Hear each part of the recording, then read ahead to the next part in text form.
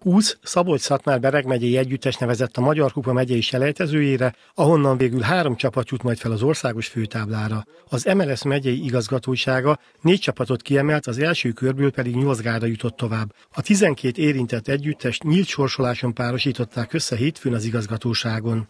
Vannak pikáns mérkőzések, eleve érdekes az, hogy a pályán maradt, illetve hát a versenyben maradt 12 csapat közül, ugye 8 első osztályos, 4 másodosztályos, és a 4 másodosztályot egymással ellen húztuk ki, tehát ez azt jelenti, hogy lesz olyan két pár, ahol a másodosztályok játszanak egymás ellen, így értelemszerűen két megyei másodosztályú csapat képviseli magát majd a harmadik körbe is, tehát reális esély lesz arra, hogy megye kettes csapat feljusson az országos főtáblára, hiszen ne felejtsük el, hogy a harmadik kör után a három győztes az már az országos főtáblán folytatja majd.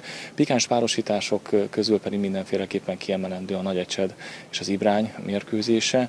Azt hiszem, hogy ez mindenféleképpen érdemes, érdemes lesz oda majd kilátogatni. Érdekes találkozó lesz, tavalyi évben is egymás ellen is játszottak a kupába, bajnoki meccseken is igen szoros mérkőzéseket játszottak, és az is mindenféleképpen fontos megemlíteni, hogy voltak olyan bravúros eredmények az első fordulóban, hogy másodosztályú csapatok búcsúztattak első osztályú csapatot, gondolok itt a Csenger és a Gyulaháza bravúrjára. A Nagyecsed Ibrány mérkőzés mellett Nyíribdon Csenger, Újfehértó Vásárosnamény, Rakamasz Gyulaháza, Balkány Tarpa és Mándok Máté Szalka találkozókat rendeznek augusztus 21-én hat közékerülésért. A hétvégén rajtol a bajnoki szezon is. A bajnoki rajterőt most csütörtökön délután 17 órától lesz egy nagyon fontos tájékoztató, méghozzá a labdarúgás versenyszabályzat módosításokról, hiszen azt szinte nagyon sok fórumon olvashatták a megyei futballbarátok a június 1-től.